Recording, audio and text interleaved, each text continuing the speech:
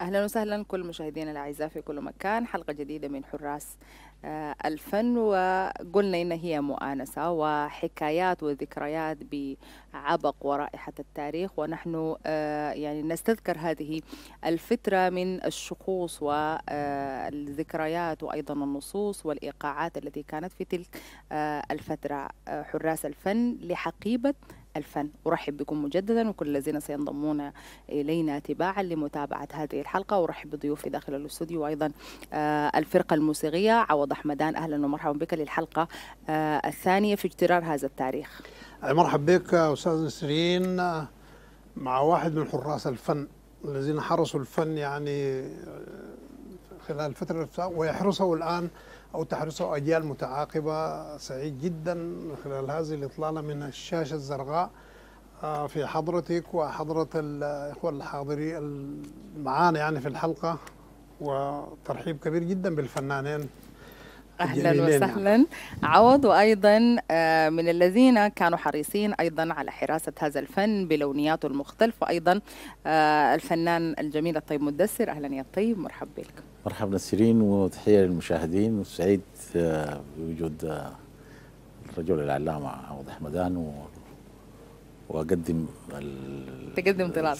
طلال الصديق العزيز ابننا طلال حلفة. يمتد أيضا ترحابي بالفنان أيضا الجميل طلال حلفة. أهلا يا طلال. أهلا بك نسرين وسعيد بالإطلالة الجميلة في معيتكم معية أستاذ عوض أحمداني وأستاذ الصديق الطيب مدسر وإن شاء الله نقضي مع بعض وقت جميل إن شاء الله. لابد من الترحيب أيضا. عوض حمودي إسماعيل عبد الجبار ومليجي وسعد الدين الطيب وقصاص وخليل. أهلا بكم. مرحب مرة ثانية. وهي ونسة ومؤانسة ومثاقفة حول حقيبة الفن من زاوية مختلفة. وأيضا من قراءة مختلفة في دفتر هذه الحقيبة. نبدأ نوثق من خلال اللحن والإيقاع مع الطيب مدسر أهلا والطيب مرحبا.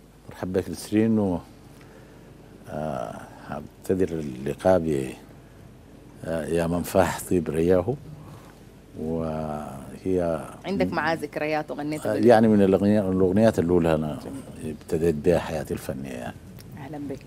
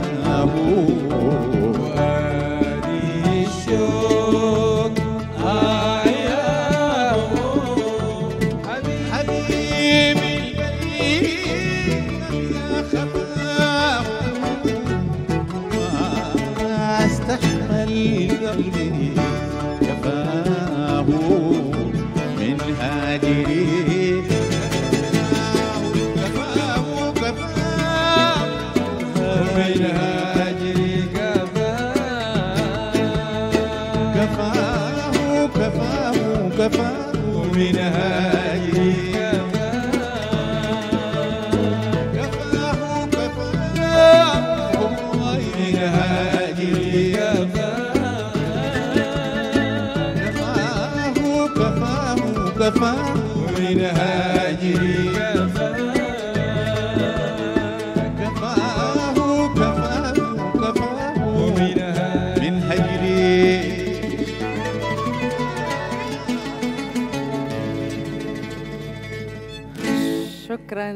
جزيلا الطيب مدثر واذا ضيفي تبدت ملامحه في هذه الحلقة بكل هذه القسمات الجمالية. أتى من الموردة من أم درمان إلى آه، عمق التاريخ وأتى بهذه الكلمات وبهذه النصوص وأصبح واحد من أعمدة فن الحقيبة السوداني الذي نوثق آه، له في هذه الحلقات من حراس الفن. نعود بعد الفاصل. أهلا وسهلا بكم مرة ثانية حراس الفن في حضرة واحد من بوابات ال- الفن وفن الحقيبة تحديدا صالح عبد السيد أبو صلاح. عندما نتحدث عنه يجب أن آه، نفسح المجال لواحد من الخبراء الذين آه، يعرفونه بحق. عوض أحمدان أهلا بك في هذه المحطة. مرحبا بك نسرين. وحقيقة يعني دي حلقة لها خصوصيتها لأنه أبو صلاح في مجال الحقيبة برضو زول له خصوصيته من خلال إنتاجه الغزير ومن خلال أغنياته التي زاعت بين كل الأجيال. آه، وعنده عنده أسلوبه وطريقته المعينة اللي إن شاء الله الناس حيتعرفوا عليها. وهو أم درمان يقوح زي ما قلت من الموردة. والأغنية بالمناسبة قبل الحقيبة كان اسمها أغنية أم درمان. تحولت لاحقا إلى أغنية الحقيبة. وين موقع أبو صلاح في في الحقيبة بين شعراء الحقيبة؟ والله برضه في الصفوف الأمامية. أصلا آه، هم يتزاحموا على الأولوية. جميل. آه، مجموعة هم من الشعراء اللي خلدوا هذا الفن. بدأ س- بدأ سنة كم؟ جاء سنة كم هو طبعا أولا هو ولد 1890 وبدأ ال- طبعا بالدوبيت وال- كان ساعد في تلك الفترة عمره 14 سنة. كتب الشعر. واستمرت الرحلة من نجاح إلى نجاح حتى أصبح يعني أصبحت سيرته تجري على كل لسان. من النص والتوثيق إلى الإيقاع. يا طلال تفضل. تفضل. آه تختار شنو من أبو صلاح؟ الحقيقة أنا طبعا يعني أبو صلاح من شعراء أو من أعمدة ال- الأغنية ال- ال- الأم درمانية زي ما قالوا الأستاذ عوض أحمداني وما في فنان ما غنى أغنيات الحقيبة. وأغنيات أبو صلاح أنا أجد فيها نفسي فيها جزالة الكلمات وفيها روعة المعاني. شنو قسم. دائما بيخليكم تختاروا الحقيبة يعني. آه، هو تقليد ولا بيأكد ذات ذاتيتكم وإنسانيتكم هو كله؟ هو هو تقليد أول حاجة ونمره اثنين الحقيبة ذاتها فيها ألحان وفي كلمات أنت ما بتقدر تتخطاها يعني. لازم لازم تتناولها لأنه فيها فيها أداء صوتي آه، يعني أو فيها بتظهر إمكانيات الفنان. يمكن معروف بأنه الفنانين كانوا بيجيزوا أصواتهم في الإذاعة باغنيات الحقيبة لأنه فيها صعود وهبوط في الأداء يعني. قصدنا في هذا البرنامج إنه يكون آه كل ال- الفنانين اللي حيجوا في الحلقات هم عندهم علاقة بالذين نوثق لهم في هذه الحلقات تطريبا وتمجيدا. نعم. آه، أنا أختار في في في الحلقة دي آه، قسم بمحيك البدري. يا سلام. آه، يا أغنية سلام عليك. أغنية أغنية معروفة طبعا وأداها العملاق الراحل محمد وردي. وإن شاء الله نقدر نقدمها ب- طبعا بطريقة قبله كرومة تنال الإعجاب وأجيال كثيرة أجيال ما زال. كرومة طبعا في نعم، الأول هي. صحيح. وورد اختار يعني اختار صحيح صحيح. وقدمها بلونيته صحيح صحيح. معروف. ده بخلينا بعدين نتكلم عن أبو صلاح إنه في, في الأجيال المختلفة تغنوا له. نعم. صحيح.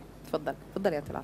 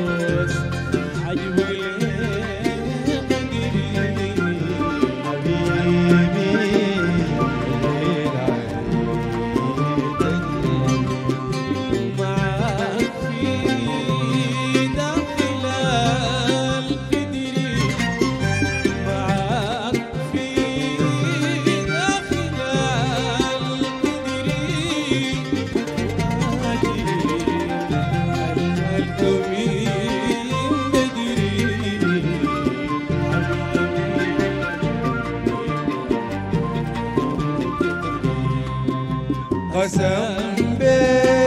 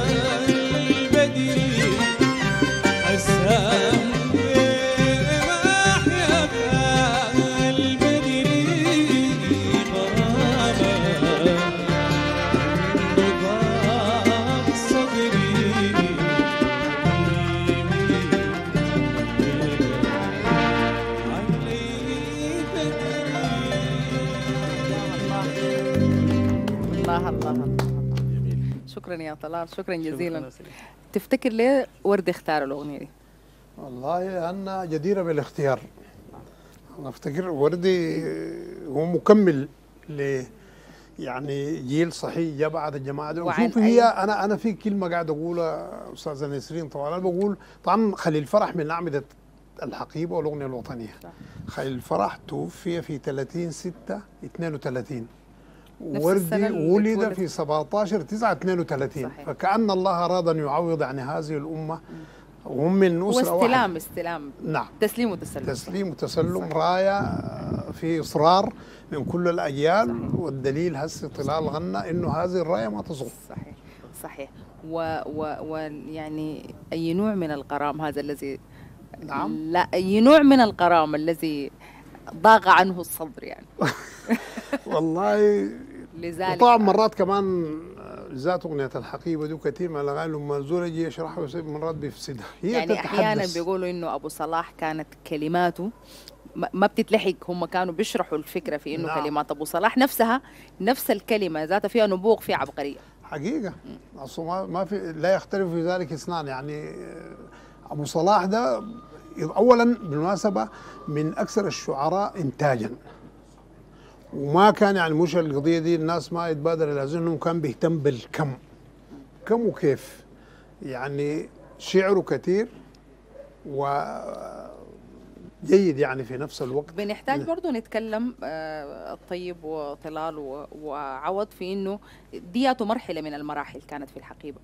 يعني مرحلة اكتمل فيها اكتملت فيها الإيقاعات مرحلة اكتمل فيها كتابة النص بشكله ال- الراقي والممكن هي طبعا يعني آه، لما بدت طبعا بدت الحقيبه زي ما قلنا آه، 19 18 19 19 في ناس بيقولوا 20 المهم.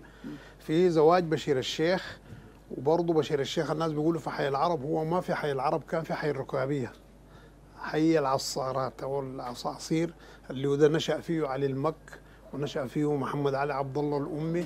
والتحول اللي حصل غياب دولة الطنبور وبداية ال- الحقيبة وحتى دي ال- ال- العبادي يا طيب ويا طلال يعني لما الطنابرة أضربوا دارين يحرجوا سرور ما يغنوا معاه في العرس بتاع بشير الشيخ قام العبادي وسغ في أبيات. صحيح. ف... الإضراب الشهير. أيوه الإضراب الشهير. يعني قال آه، جزاهم الله خير كل الحساب حسبونا. وجابوا الكراسي في الوساع نصبونا. من تال الكرم كادوا أن يحبونا مش نسوي إلا الطنابرة أبونا. ودي كانت مرحلة اللي هي بدأت فيها يقال إنه أول أغنية والعهدة على الراوي اللي هي ببكي وبنوح وبصيح بصيح.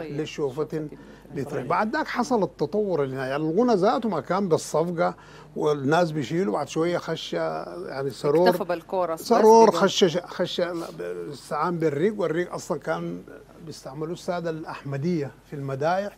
بعد شوية كرومه بالمثلثات ومشت الشغلانة خشت آلات. يعني كانت في القربه في سير عبد الله بالكمنجه في يعني وهبه وهبة بال بالأكورديون. لغاية ما ما مش تطور ال- الشعر الأكورديون دخل مع ناس أبو. صلاح؟ أفتكر الأكورديون دخل مع أبو صلاح صح؟ أي نعم في. م- آه، وهبه بمزيك تتحكر. أيوة. واحدة في من بدور اغنياتها القلعة. في بدور القلعه وجوهر. صحيح. طيب واضح. طيب آه، خلي العيش حرام؟ يا سلام.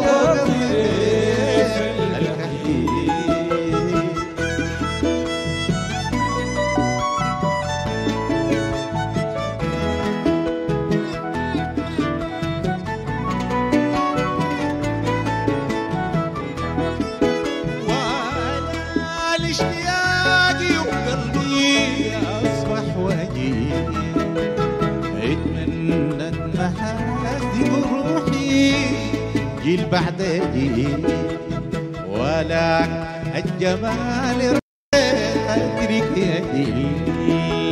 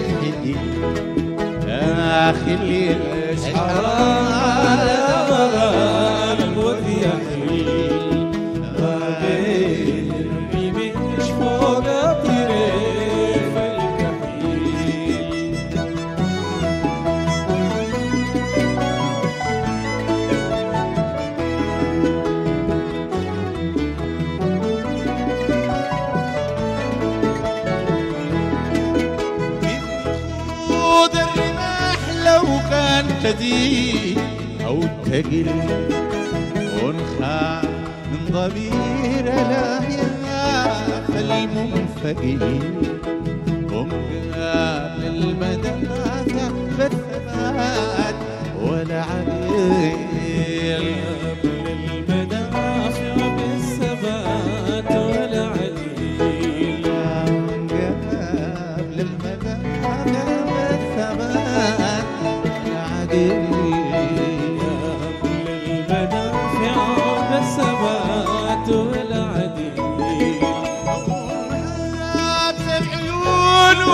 معوي برفقي أخي الليل عيش الرميش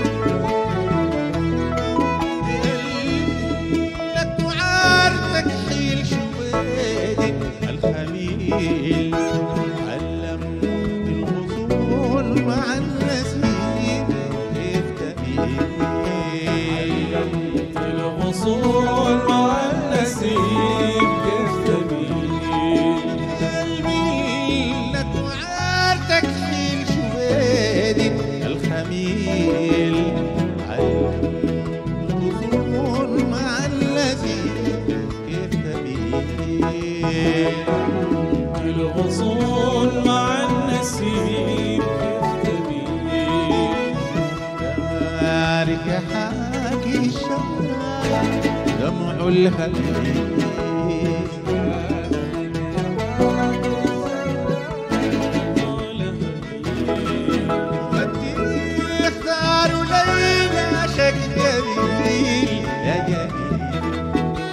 انت اللي في الدور ليلى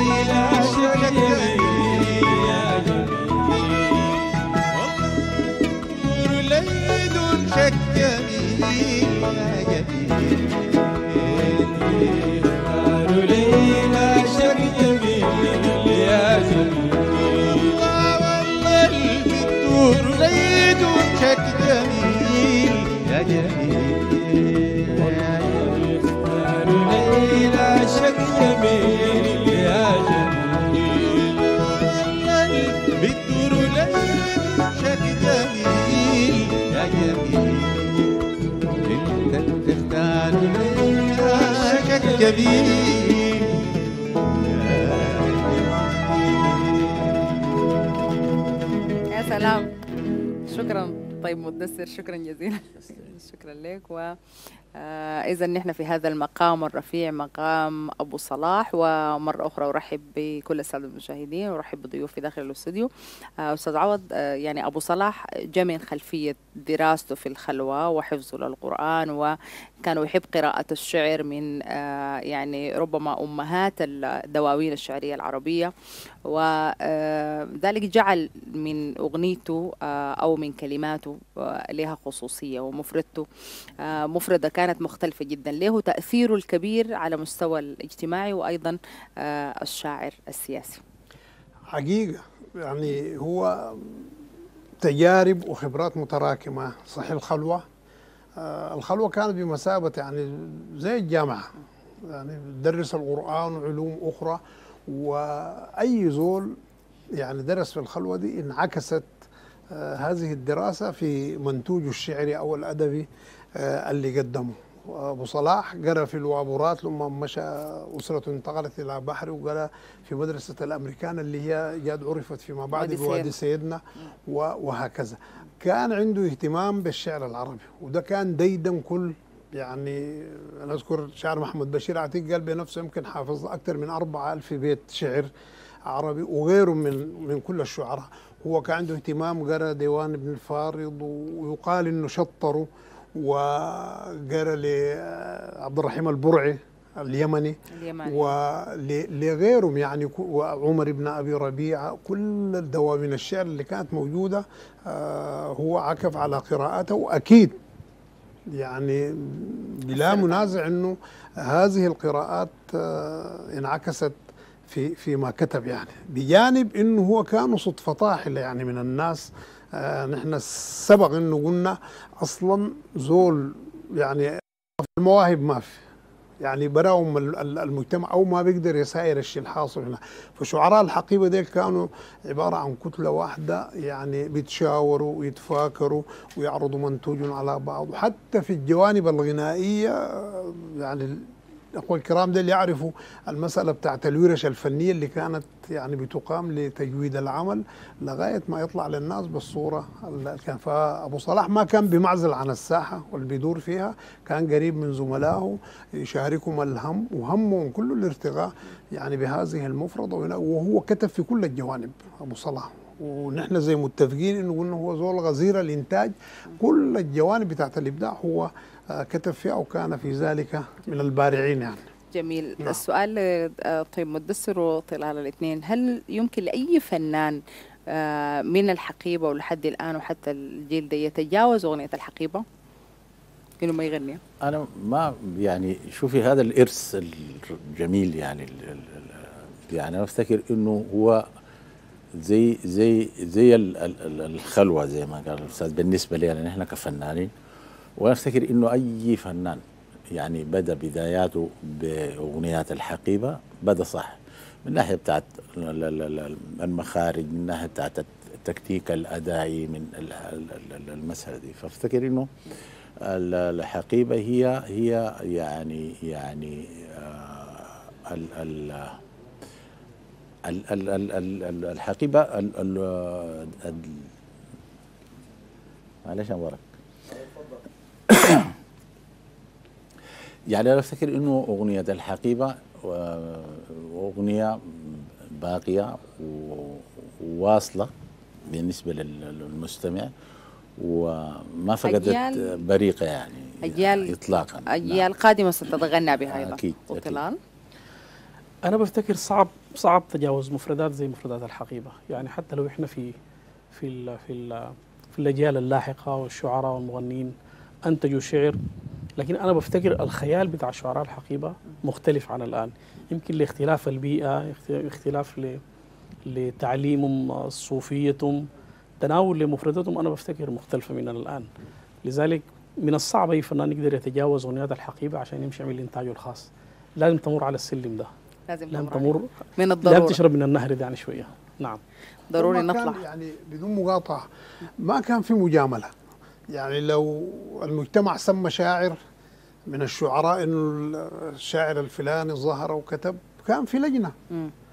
بيجوا بيقعد بيختبروا. يعني خليل الفرح ب- في في كلية مشوا له ناس محمد مركز محمد علي عثمان بدري ابن عمه وناس إبراهيم العبادي وبيت غطاء اجازوه في نفس اللحظة إنه خلاص شاعر وكذا الحال بالنسبة لبقية يعني الشعراء. ما كان في مجاملة. ويدوهم من الحروف الصعبة جدا جدا أيوة في نعم. إنك أنت تكتب عليها والغريب في الموضوع إنه أغلبهم تجاوزوا هذه الاختبارات يا يعني. نسرين ده حتى في المديح. يعني يعني وسعد لما سمع إنه في منطقة الشاقيه في الشاعر علي ود حليب في منطقة المقل إنه في شاعر وده زمن الدولة السنارية. فقام رسل له بيت بس. الزول يسأل وين آه، علي ود حليب قال له التربال اللي في الساقي اللي بيزرع داك بشمارته وعراقيه وطوريته داك علي ود حليب مشى له سلم عليه ادى البيت بس. يقال انها القصيدة اللي هي آه وشوقي عليه طيبه من نخيل انقج. الغافيه بالجيم نعم. كمل القصيدة والزول كان وسعت طوالي آه اجاز وخلاص. بقى.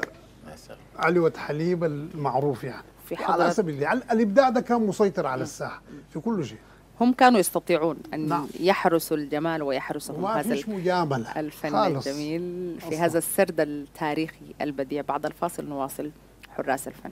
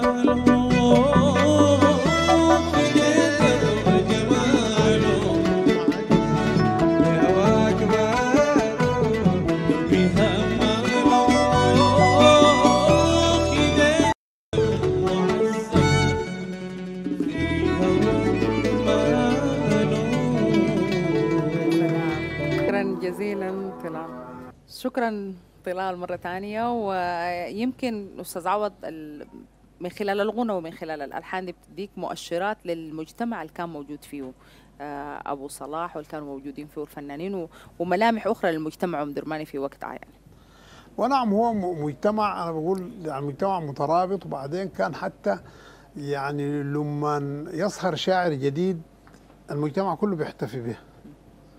يعني ما كانت حاجة عادية ما بتمر مرور الكلام الكرام وأي زول بي- بيحتفي حتى في مناسبات المجتمع ذاته بينزل الشاعر منزلته ال- المفروض ينزل. يعني هسي آه، لو أخذنا مثل كان وده شاعر من سنتمنى إنكم مرة تعملوا حاجة عنه اللي هو الخليفة يوسف الحسن أبو العائله أبو العائلة أيضا. ده اولا هو شاعر غير إنه هو طبعا خليفة من خلفاء السيد علي المرغني المعروفين لكن هو شاعر وكان له علاقة بالسيد عبد العزيز وله آه، منتوجه الأدبي وله يعني رسالته اللي قدمها من خلال هذا الجانب جميل. الخليفة ده كان حتى قال لك ما يجي ماشي في الشارع عنده فرجية كده بيلبسها والكريزة اللي بيعلقوه في اليد ده وهكذا. فهؤلاء الناس يعني احتفوا بالمجتمع والمجتمع احتفوا بهم. وهم كانوا المجتمع- لسان لسان حالنا. بالذات لو جيت نظرت يا أستاذ نسرين في قائمه الشعر الاجتماعي اللي عملوا شعراء الحقيبة. إذا صاحبه تزوج إذا حتى يعني سرور لما مشى الحاج ودى الرضي كتب له. يعني كانت لحنه سيرة وغناك غناك لذلك ذكرت بأنها كانت سيرة المجتمع. نعم. آه، الطيب مرة ثانية أهلا بك. طيب آه، اعطف عليه يا ريم. يا سلام. نعم. Thank you.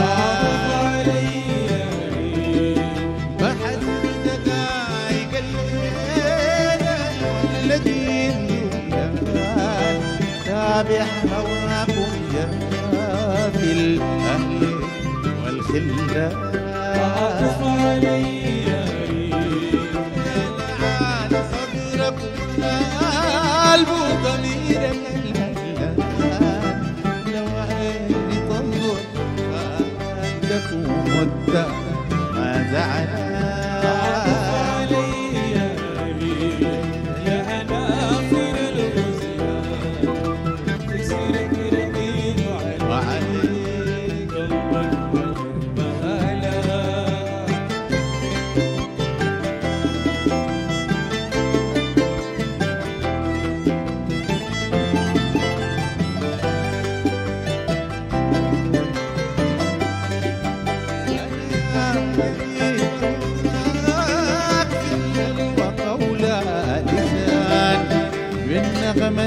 تسكرني بالنظرة والمسان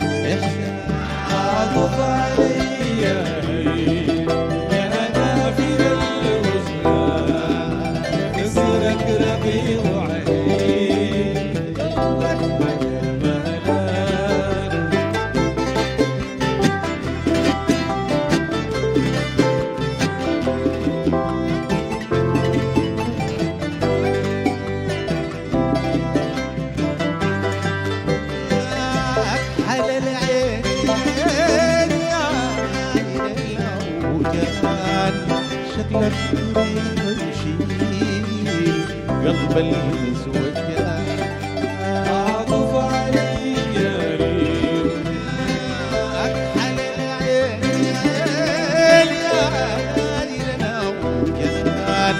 شكلك يشيل قلب والجان. عطف علي يا ريت. شفنا البدور تسريج بسمتك سليان ما بين بياض الدر وخضرة المرجان عطف علي يا ريت يا هنافر الغزلان كسرك رقيق علي.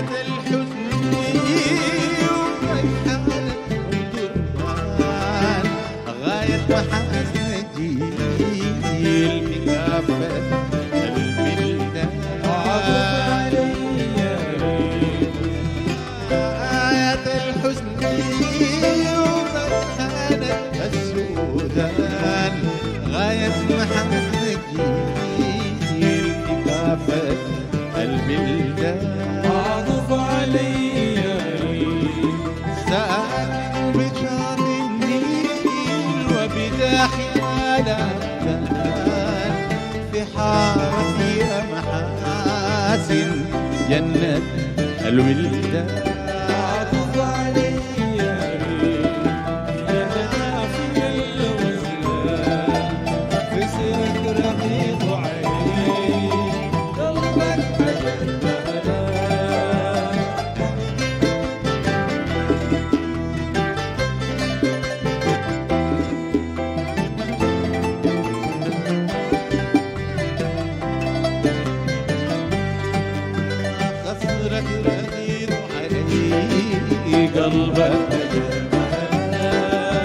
خصرك رقيق علي قلبك خصرك رقيق علي قلبك حجر ما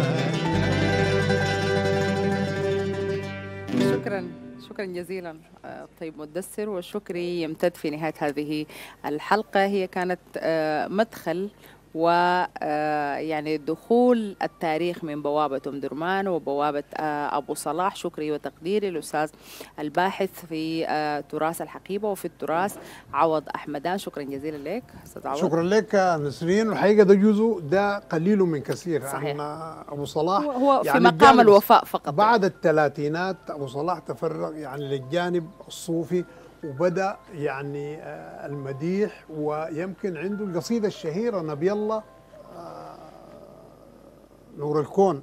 أيوة. صلى الله عليه بعد ما كان وعد ما يكون. ويمكن آه، يعني أخيرا رددها كان ثنائي مدر معلم مصطفى الدكشيني الله يرحمه. وزميله خلف الله وكده.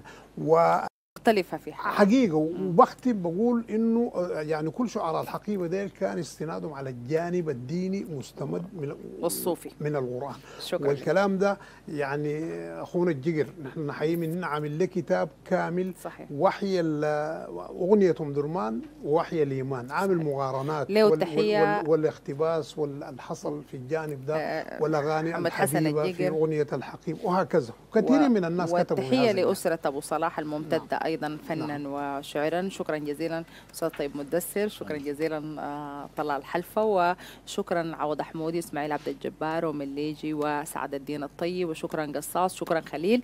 مرة ثانية شكرا لكل السادة المشاهدين اللي تابعونا في هذه الحلقة. هي كانت محاولة أيضا مرة أخرى لاكتشاف الجمال في حقيبة الفن من خلال حراس آه، الفن. وأغنية ختامية مع طلال والطيب. Thank you.